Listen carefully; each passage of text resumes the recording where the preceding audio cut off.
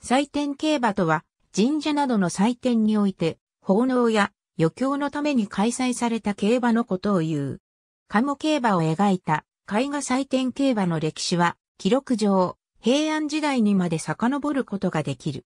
日本における祭典競馬の伝統的な形式は、数百メートルの直線形の馬場を用い、2頭の馬のマッチレースを行ったり、汽車を行ったりするというものであった。そのような祭典競馬としては、鴨和慶和地の神社の鴨競馬が現在に残っている。1861年以降、横浜の外国人居留地で西洋式の競馬が盛んに行われるようになった。その形式は楕円形の馬場と3頭以上の馬を用いてレースを行うというものであり、間もなく日本人によって日本各地で近代競馬が模倣されるようになったが、そのための場として祭典競馬が盛んに利用された。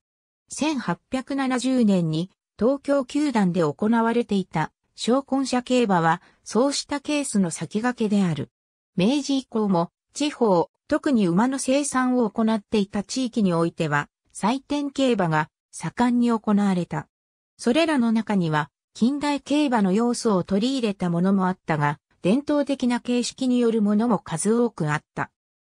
1910年の改正競馬規定によって、公認競馬以外の競馬は、産牛馬組合、または馬筆の改良増殖を目的とする団体が地方長官の許可を得なければ行うことはできないとされた際も地域の娯楽のために行われる祭典競馬については規制対象から除外された。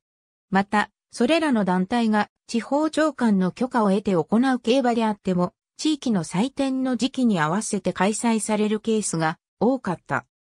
1927年に地方競馬規則が交付され、公認競馬以外の競馬が地方競馬として行われるようになって、以降は同法が施設や主催者など競馬開催のための要件を細かく規定していたために、近代競馬形式による祭典競馬は次第に姿を消していった。